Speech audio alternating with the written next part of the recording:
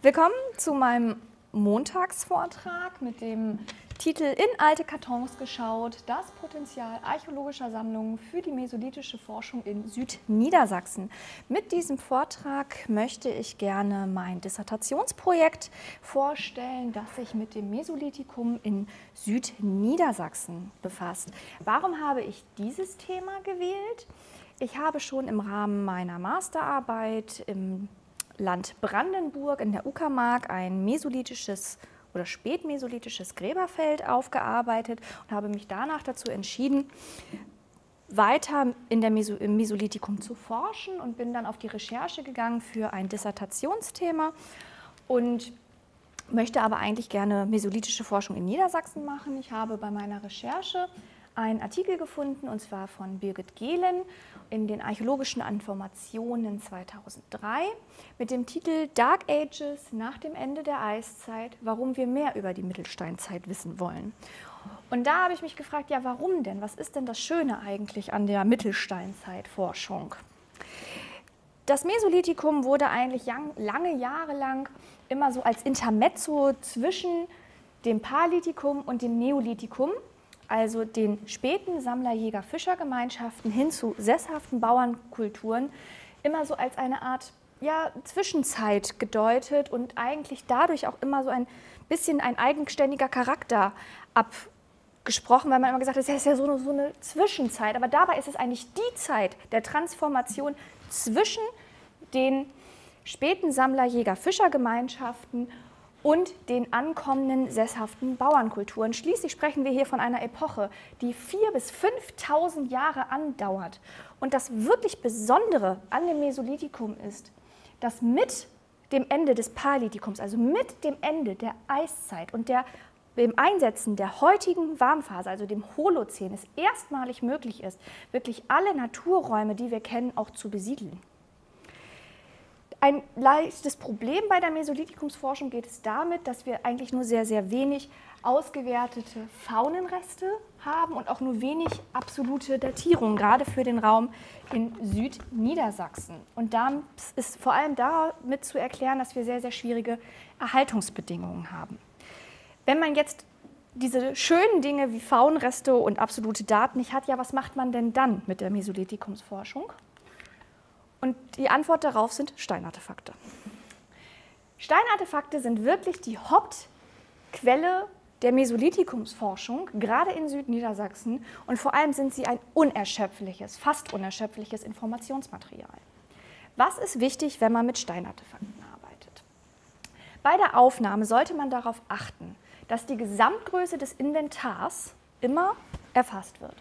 Man sollte immer darauf achten, dass die verwendeten Grundformen zur Werkzeugherstellung, aber auch die Werkzeugtypen vollständig erfasst werden. Man sollte definitiv das Rohmaterial unterscheiden, sowie an ausgewählten Stücken, wenn möglich, Mikrogebrauchsspurenanalysen durchführen. Diese können, auf, können Hinweise dazu geben auf Funktion und Handhabung der Objekte weitere Vorteile der Mesolithikumsforschung. Die Funde sind häufig und in fast allen Landschaften anzutreffen. Wie ich schon gesagt habe, mit dem Mesolithikum können wir erstmalig alle naturräumlichen Zonen, die wir kennen, auch besiedeln und damit auch in der Forschung fassen. Wir haben die Funde meist oberflächennah. Sie sind dadurch sehr gut auffindbar, vor allem durch das systematische Absammeln von Feldern oder anderweitigen Ackerflächen. Dadurch, durch diese Feldbegehung, durch dieses Absammeln der Objekte, haben wir ein riesengroßes Quellenspektrum zur Verfügung. Was ist zu beachten bei dem Absammeln von Feldern, einer sogenannten Feldbegehung? Wichtig ist sorgfältiges, systematisches Absammeln. Optimal ist eine Einzelfundeinmessung über GPS-Handgeräte oder Apps. Da gibt es mittlerweile sehr, sehr gute Produkte. Wichtig dafür ist eben halt auch, dass wir mit diesen Feldbegehungen schaffen, Potenzial für regionale und überregionale Forschung zu generieren. Das heißt, wir können auch regionale Differenzierung daraus erarbeiten. Weiterhin haben wir auch das Potenzial für Forschungsgrabungen. Ich gehe noch einmal zu Frau Gehlens Artikel zurück. Schließen einer Forschungslücke. Was ist nötig? Wir brauchen definitiv Aufbereitung von Sammlungen und Altgrabungen. Publikation dieser Regionalstudien. wissenschaftliche Grabungs- und Großprojekte. Wir brauchen Datierungen, AMS-Daten von Altgrabungen, von neuen Grabungen. Also ab in die Archive suchen wir das organische Material, das vielleicht noch irgendwo da ist und lassen es datieren. Wir brauchen Bearbeitung von vorhandenen Faunenresten. Wir brauchen aber auch neue systematische Begehungen von älteren Flächen, um diesen Forschungsstand dort zu aktualisieren. Birgit Gehlen hat hier mal in ihrem Artikel aus den archäologischen Informationen so ein Forschungsranking der Bundesländer gemacht. Und ich war doch sehr erfreut zu sehen, dass Niedersachsen schon 2003 zu den, zur absoluten Forschungsfront gehört. Wie ist es zu erklären? Wir haben vor allem hier im nördlichen Ostniedersachsen und im östlichen Zipfel Niedersachsens sowie im südlichen Zipfel Niedersachsens sowohl Aufsammlungen, Grabungen und Regionalstudien. Generiert, ähm, wir haben hier nochmal einmal zu sehen die äh, Fundstellenverteilung für ganz Niedersachsen, der mesolithischen Fundstellen. Und mit 2300 Stück finde ich das schon sehr beachtlich. Wir haben hier die Abris ähm, im Rheinhäuser Wald und am Bettenroder Berg, die damals durch Klaus Grote erforscht sind. Aber wir sehen auch, dass eine ganz, ganz große Vielzahl an Fundstellen sich über die Ausläufe der Mittelgebirgszone bis ins Tiefland perlenartig nach oben hindurchzieht. Wie eben schon bei dem Forschungsranking von Frau Gehlen gesehen, hier wieder der große Punkt mit den Studien im östlichen Nordniedersachsen, Landkreise Rothenburg, nördlicher Landkreis Verden und hier die äh, bei Frau Gehlen zu sehende östlichen Punkt mit den Forschungen im Landkreis Lüchow-Dannenberg. Da kommen wir auch schon zum nächsten. Wir haben eben halt, wie eben schon gesagt, hier dieser Punkt ist die Regionalstudie von Klaus Breest, der lange Jahre lang immer wieder in der Jetzelniederung mesolithische Fundstellen ausgewertet hat und dort eigentlich ein ziemlich hohes Potenzial für die regionalen Forschungen im Kreis Lüchow-Dannenberg gesetzt hat. Gehen wir in den Zipfel hier. Das sind die Regionalstudien und Forschungsgrabungen von Klaus Gerken, der in unendlich vielen Forschungsgrabungen, Aufsammlungen und Auswertungen von Archivmaterial unter anderem diese tolle Monographie 2001 rausgebracht hat, aber auch viele andere kleinere Publikationen, die auf seiner Website und bei Academia zu lesen sind und als ganz besonderer Fund natürlich der präboreal zeitliche Retoucheur, die Venus von Bierden. Eben nochmal zurück zu den Abri-Forschungen hier im Rheinhäuser Wald. Klaus Grote, der seit 1979 systematisch diese Gegend dort erforscht hat und vor allem eben halt die Gebiete im Rheinhäuser Wald, Bettenroder Berg, aber auch Großschneen, Reifenhausen, dort systematisch die Abris prospektiert hat, insgesamt 1600 Stück und da auch wirklich 110 mit archäologisch führendem Material erfassen konnte. In der Regel haben die Abris mehrere Fundschichten und zwar reichen die zeitlich ungefähr vom Mittelpaläolithikum bis in die Latenzeit. Es kommen aber auch immer wieder mal eine ähm, neuzeitliche bzw. frühneuzeitliche Epoche hinzu. Es gibt aber auch neuere Forschung, die bei Birgit Gehlen noch nicht so präsent waren, wie auch diese Forschungen können, sind aus ungefähr dem Zeitraum 2015, also noch relativ jung. Da geht es um die Regionalforschung von Herrn Reimann vor allem, aber auch durch Herrn Berthold und Herrn Gerken. Herr Reimann begeht seit vielen Jahren systematisch die Fundplätze an der verlandeten Uferzone des Steinhuder Meers. Hier die rote Linie ist die alte Uferkante des Steinhuder Meers und dort sehen wir auch perlenschnurartig aufgereiht die mesolithischen Fundplätze. Er hat in den letzten Jahren über 50 Fundstellen neu entdeckt mit, ich würde sagen, bis heute sind es nicht mehr 3750, sondern fast 5000 Steinartefakte, die ausgewertet werden können. Herr Reimann war nicht ganz der allererste, sondern schon 1939 machte Lehrer Dannenberg dort erste Funde in den Meerbruchwiesen. Diese sind leider heute nicht mehr zugänglich, sondern verschollen, was sehr schade ist. Aber es bleibt die Publikation von Herrn Dannenberg. Und Herr Dannenberg hat in seinem Material schon das zeitliche Spektrum des Spätpaläolithikums erfasst mit den Federmessergruppen, Rückenmesser, die klassischen Doppelkratzer und verschiedenste Stichel.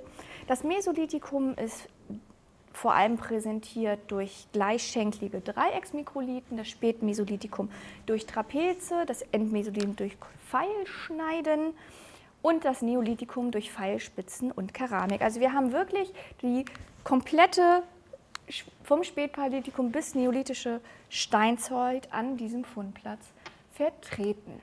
Es gibt aber auch neuere Forschungen seit 2015 von Svea Mahlstedt. Svea Mahlstedt hat auch mit Oberflächenmaterial gearbeitet und zwar in vier Kernregionen im westlichen Niedersachsen und macht mittlerweile und hat die in einer Dissertation, in ihrer Dissertation publiziert mit wirklich schönen Ergebnissen. Und heute macht sie oder mittlerweile macht sie ganz tolle Forschung auch in diesem Gebiet Westniedersachsens zu Feuchtbodenfundplätzen des Mesolithikums. Schließen wir den Bogen noch einmal zu Frau Gehlen, schließen einer Forschungslücke. Es hat sich viel getan, aber wir sind noch lange nicht am Ende. Wir können die Karte erweitern hier durch den Punkt, wo Frau Mahlstedt ihre Forschung macht. Hier könnte man vielleicht noch einen kleinen setzen für Steinhuder Meer, aber hier, wo die magentafarbene Raute ist, ist noch eine große Lücke. Und diese Lücke möchte ich mit meiner Dissertation schließen. Wir bewegen uns hier in zwölf Landkreisen und drei kreisfreien Städten. Hier nochmal die Karte der mesolithischen Fundstellen dazugepackt. Also wirklich, hier ist der Harz, die Mittelgebirgsausläufer über den Solling, die Itthils, Deister, Süntel bis in die niedersächsische Tiefebene zum Steinhuder Meer. Zeitlich bewege ich mich in dem Rahmen von ca. 10.000, also das Spätpaläolithikum ca. 10.000 vor, bis ungefähr 5.500. Das ist so die Zeit im Süden mit dem Beginn der LBK und im Norden sind wir so bei 4.000 vor Christus mit dem Beginn der Trichterbecherkultur. Ich habe mir natürlich auch Fragestellungen für meine Dissertation überlegt und einerseits möchte ich gerne wissen, wie wurde die Landschaft und dessen Ressourcen in den verschiedenen zeitlichen Abschnitten des Mesolithikums überhaupt genutzt? Welche Veränderungen in der materiellen Kultur können zwischen der Mittelgebirgszone und der Tiefebene in den verschiedenen zeitlichen Abschnitten festgestellt werden? Welche Rolle spielt die Mittelgebirgszone beim Übergang vom Spätpaläolithikum zum Frühmesolithikum und vom Spätmesolithikum zum Neolithikum? Ich habe mich dann auch noch mal auf die Suche gemacht nach allen Fundplätzen in meinem Arbeitsgebiet und bin bei der Erstrecherche auf 501 Fundplatz gekommen. Mir ist da aber schon aufgefallen, dass es doch noch mehr gibt und noch ein bisschen mehr Potenzial da ist. Ich habe dann noch mal 15.000 Datensätze ausgewertet ohne die Region Hannover habe ich dann noch 43 weitere gefunden, sodass ich ohne die Region Hannover bei ungefähr 544 mesolithischen Fundstellen für mein Arbeitsgebiet bin. Ich habe mir auch den Publikationsstand angeschaut und wir haben natürlich hier durch Klaus Grote mit den tollen Abri-Forschungen ganz einen sehr guten Publikationsstand des Mesolithikums. Auch für den Kreis Nordheim hat Klaus Grote und Ursula Werben viele tolle kleinere Artikel publiziert. Wir haben Christian Leiber, der hat für den Kreis Holzminden auch eine schöne ähm, Siedlungsvor äh, Siedlungs siedlungsanalytische Forschung gemacht, allerdings nicht nur fürs Mesolithikum, sondern wirklich ähm, über mehrere Epochen hinweg. Frau Schwarz-Mackensen hat ähm, auch ähm, Studien zum Paläolithikum, zum Mesolithikum gemacht, aber vor allem hier oben auch der Bereich Braunschweig und bis in den, Land, in den Landkreis Gifhorn hinein. Ansonsten haben wir häufig eher Fundstellenkataloge, die aufgestellt worden sind und eher nur kleinere Artikel, beispielsweise in der Fundchronik oder in anderen Regionalia, aber es gibt für den, das restliche Gebiet keine wirklich zusammenfassende, intensive Materialauswertung. Das möchte ich mit meiner Arbeit ändern und habe erstmal angefangen, mich mit den Fundstellen im Solling zu beschäftigen, um genauer zu sein, erstmal in dem Landkreis Nordheim, was ich heute beispielhaft äh, vorstellen möchte. Und im Landkreis Nordheim gibt es eben halt verschiedene Sammlungen. Einmal durch Herrn Leibecke, die Sammlung von Herrn Dr. Bredenschei und die Sammlung von Herrn Grabenhorst. Exemplarisch möchte ich heute kurz die Sammlung von Herrn Leibecke vorstellen. Und Herr Leibecke begeht seit Jahrzehnten Fundstellen in Sievershausen, in Dassel und in Hilvertshausen. Insgesamt hat Herr Leibecke 31 Fundstellen in seinem Leben systematisch begangen und das gesamte Fundspektrum dieser Sammlung beläuft sich auf ca. 8000 Funde. Hier einmal das Beispiel des Fundplatzes Dassel 16. Dassel 16 liegt oberhalb eines kleinen Steilhanges im Ilmetal. Und nicht nur ich war die Erste, die an diesem Fundplatz geforscht hat, auch schon Ursula Werben hat 1988 immer wieder ähm, kleinere Artikel, Aufsätze über die Fund, Fundstellen von Herrn Leibecke geschrieben, unter anderem auch aus Dassel 16. Sie beschreibt das Inventar vor allem eben halt aus Mikrolithen, vorwiegend einfache Spitzen und Dreiecke aber auch Segmentmikrolithe. Sie erwähnt die vielfältigen Kratzerformen, die kleinen Kerne, die Kern- und Scheibenbeile, also die Großgeräte. Sie differenziert ganz wunderbar das Rohmaterial und sie gibt die Inventargröße 1988 mit 2500 Artefakten an. Die Inventargröße 2023 beläuft sich bis jetzt auf 2810 Artefakte. Ich habe mir diesen Fundplatz noch mal ein bisschen näher zur Brust genommen als Frau Werben. Ähm, modernste Technik macht das möglich. Wir haben eine, auch hier die Auswertung des Rohmaterials, was Frau Werben ja eigentlich schon gemacht hat. Und auch hier kann ich genau wie Sie sagen, 90 Prozent der Artefakte sind aus nordischem Feuerstein gemacht. Ähm, die zweite Kategorie ist Kieselschiefer und Quarzit, wobei äh, Kieselschiefer unter 10% liegt und Quarzit gerade mal mit 1% vertreten ist, also wirklich den geringsten Teil des Rohmaterials einnimmt. Ich habe mir zusätzlich nicht nur die Werkzeuge angeschaut, sondern auch die Abfälle, die durch mit dem Herstellen dieser Werkzeuge entstehen. Und die meisten Werkzeugabfälle haben wir wirklich in Form von Stichellamellen, Kerbbruchresten und Kerbschlagresten. Guckt man sich die Kerne noch mal ein bisschen differenzierter an, haben wir vor allem Lamellenkerne, die vorherrschen, neben Klingenkernen. Und diese Kerne haben in der Regel mit 61 Prozent auch immer nur eine Schlagfläche. Der zweite Teil ist also mit zwei Schlagflächen bidirektional gefertigt. Gucken wir uns die Werkzeuge ein kleines bisschen genauer an, sehen wir, dass die Grundformen, aus denen die Werkzeuge hergestellt sind, in der Regel aus Klingen hergestellt werden und gefolgt von Abschlägen. Bei den verwendeten Werkzeugklassen haben wir vor allem die Kratzer und die Klingen, wobei die Klingen selten intentionell retuschiert sind. Wir haben mit 94 Prozent in der Regel Gebrauchsretuschen an den Klingen. Bei den Werkzeugkombinationen haben wir am meisten Doppelkratzer und Stichel mit Kantenretusche und die Großgeräte sind hauptsächlich Scheibenbeile, nur wenige Kernbeile. Gucken wir noch mal ein bisschen genauer hin. Wenn man die Stichel, die vorhanden sind, noch weiter differenziert, haben wir in erster Linie die Form des Kantenstichels. Bei den Mikrolithen haben wir in der Regel immer die partiell retuschierten einfachen Spitzen. Als größte Kategorie, die zweitgrößte Kategorie ist die durchgehend retuschierte einfache Spitze. Die Bohrer sind nicht weiter spektakulär, die halten sich die Waage. Wir haben Feinbohrer, wir haben Langbohrer. Wenn welche da sind, insgesamt gibt es leider nur vier. Die Kratzerformen, größte Kategorie des Fundplatzes, haben wir wirklich die meisten sind Abschlagskratzer, und zwar Abschlagskratzer an vollständig erhaltener Grundform, gefolgt von den Halbrundkratzern. Wir haben aber auch immer wieder Kerbklingen und Retoucheure in den Inventaren. Wenn man jetzt noch mal sich das Längen-Breiten-Verhältnis zwischen Kernen und Klingen anschaut, dann fällt auf, dass die Längen der Klingen bei 38 mm, also 3,8 cm, das ist wirklich nicht viel, und auch die Länge der ähm, Kerne liegt ungefähr bei 28 mm, also 2,8 cm, die sind wirklich klein. Was sagt uns das? Das sagt uns, dass wir es hier vor allem mit einem sehr lokal angewendeten Rohmaterial zu tun haben. Wie würde man jetzt den Fundplatz Dassel 16 datieren? Wir haben das klassische Frühmesolithikum mit den partiell retuschierten einfachen Spitzen, wir haben schmale Dreiecksspitzen und einfache Spitzen mit durchgehender Retusche. Wir haben das Spätmesolithikum nur in Form von Großgeräten, also in Form von Kern und Scheibenbeilen. Wenn man jetzt sich noch ein paar weitere Fundplätze von Herrn Leibecker anschaut, sehen wir hier auch wieder das klassische Spektrum des Frühmesolithikums.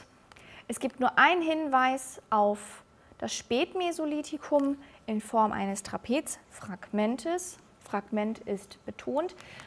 Dann haben wir auch auf dem Fundplatz Sievershausen das gleiche frühmesolithische Spektrum, auch wieder auf jedem Fundplatz diese verschiedenen Kratzer- und Stichelformen. Auf Sievershausen 17 haben wir auch immer wieder sehr schöne Retoucheure. Und wenn wir jetzt einmal vom Nordheimer Solling 20 Kilometer durchs Tal in den Kreis Holzminden springen, das auch noch zum Solling gehört, sehen wir auch dort das klassische frühmesolithische Mikrolithenspektrum. Allerdings haben wir hier auch einen Hinweis auf Spätmesolithikum und einen Hinweis auf das Endmesolithikum, einmal mit einem langen, schmalen Trapez und einmal mit einer Pfeilschneide. Daraus könnte man erste Thesen für das Mesolithikum im Solling schließen.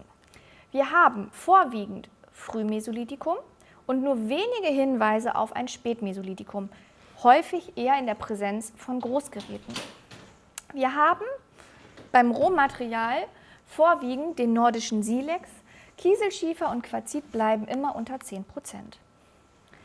Wir wissen durch den Vergleich der Größen ähm, der Klingen und der Kerne, also den Längen-Breiten-Index, können wir darauf schließen, dass wir hier doch eine eher dürftige lo lokale Rohmaterialqualität und Quelle haben. Das so als erste These. Und wir wissen von den Fundplätzen, dass sie wie Dassel 16 zum Teil auch im Paläolithikum, Mittelpaläolithikum Paläolithikum schon beginnen und meistens bis ins Neolithikum reichen. Das zur Zeitspanne. Wie geht es weiter mit meiner Dissertation? Ich möchte in diesem Jahr die, einen Großteil der Fundstellen, die Herr Reimann systematisch begangen hat, auswerten am Steinhuder Meer und damit Potenzial für künftige Forschungen dort schaffen. Weiterhin möchte ich die Sammlung Bredenschei fertig auswerten, wo mit Sicherheit auch einige tausend Steinartefakte zu finden sind, die noch ein besseres Bild aus für das Mesolithikum in dem Landkreis Nordheim und für die, die Ausläufer der Mittelgebirgszone geben werden. Weiterhin möchte ich dann in den Landkreis Nienburg nochmal gewechselt die Grabung Erichshagen 91 auswechseln. Die ist 2018 durch Klaus Gerken in Verbindung mit der Erschließung eines Neubaugebietes ähm, ausgegraben worden. Und das ist wirklich ein ganz toller Fundplatz. Wir haben auch natürlich das klassische Mikrolithenspektrum des Frühmesolithikums. Wir haben aber auch Stichel und Hinweise auf Arnsburger Kultur, Longblade. Wir wissen aber auch, dass wir dort Haselnuss und Eichelnuss, Eichelnuss nein, Eichel- und Haselnuss-Röstgruben haben, die C14 beprobt sind und beprobt werden können. Wir haben unterschiedliche, auch mesolithische Feuerstellen dort, Steinartefaktstreuungen. Diese müssten noch differenziert ausgewertet werden und das werde ich in diesem Jahr vornehmen. Weiterhin mir angucken möchte ich eine Altgrabung, auch aus dem Landkreis Nienburg, und zwar den Fundplatz Stöckse 6. Diese Fundstelle ist doch ähm, sehr spannend, weil wir haben dort in erster Linie diesen riesen Findling, den sogenannten Giebichenstein, ein Relikt der Saale-Eiszeit. Daneben findet sich ein Großsteingrab der Trichterbecherkultur. Und wenn man hier in den Wald reingeht, dann findet man noch ein riesengroßes Hügelgräberfeld der Bronzezeit. Aber um diesen Giebichenstein herum, das ist nämlich das Spannende, ist nämlich ein Federmesserzeitlicher, eine Federmesserzeitliche Freilandstation. Und diese hat Nowotnik schon 1967 bis 1968 ausgegraben und auch ähm, publiziert in den neuen Ausgrabungen Forschung Niedersachsen 1970. Und Dabei fand er 700 Flint-Artefakte, wobei der Werkzeuganteil nur 1,5 Prozent betragen soll. Und das ist auch wieder das klassische spätpaläolithische Inventar, geknickte Rückenspitzen, Kerbspitzen, Stichel, Kratzer. Spannend auch ist, dass Nowotnik in seiner Grabung hier immer wieder verschiedene Zeltplätze lokalisiert hat. Und diese Grabung möchte ich noch einmal unter moderneren Gesichtspunkten auswerten. Jetzt ein kleiner Werbeblock. Ich möchte werben für Workshops beim Freundeskreis Archäologie Niedersachsen, genannt FUN.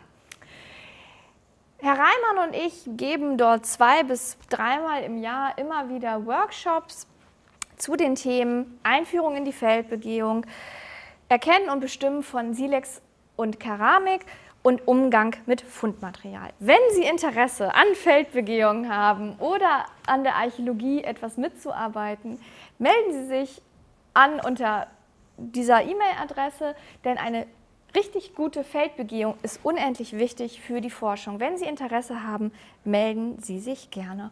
Und dann bleibt mir eigentlich nur noch Danke für die Aufmerksamkeit zu sagen.